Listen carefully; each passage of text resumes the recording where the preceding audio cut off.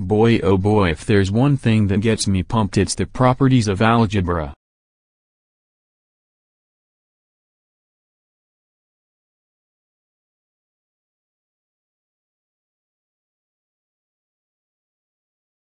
This new vocabulary can be intimidating at first but it really won't take that long to understand what these new words mean and how they help you with math. Commutative just means that the order of the numbers change without changing the answer.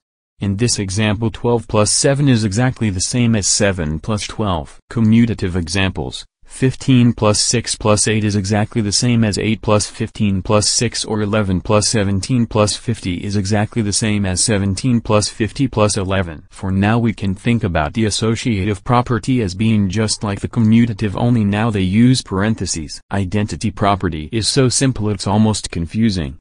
The identity property describes a problem with an unnecessary numberant operation. Check out the examples. 13 plus 0 equals 13. Duh. The same goes for multiplying or dividing by 1. Dividing a number or multiplying a number by 1 doesn't change the answer. Whatever. The identity property is at least pretty easy to understand.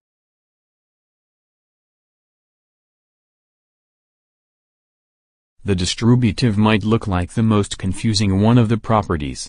But it's not. Let's come back to this definition to the book after we just look at some simple examples.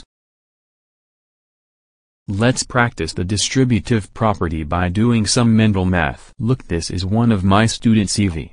I am Evie I am the master at mental math. I use the distributive property when I do mental math. What is 22 times 6? 20 times 6 equals 120 and 6 times 2 equals 12. And 120 plus 12 equals 132. See it's that easy. Let's do another problem. Use the distributive property to do 65 times 8. 60 times 8 equals 480. 5 times 8 equals 40.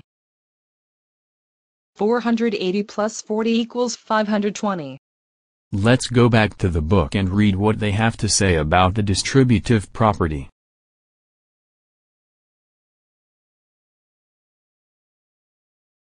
8 times 59 is the same or equal to 8 times 50 and 8 times 9. 8 times 59 is really close to being a very simple problem like 8 times 60. So we can just group things differently and still get the same answer.